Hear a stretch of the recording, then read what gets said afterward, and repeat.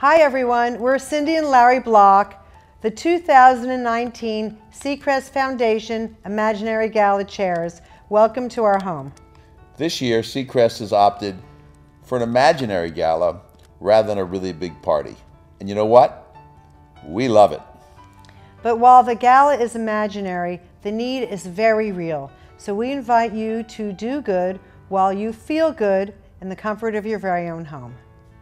This year alone, Seacrest will provide over $2.5 million in charitable care, and the need only continues to rise.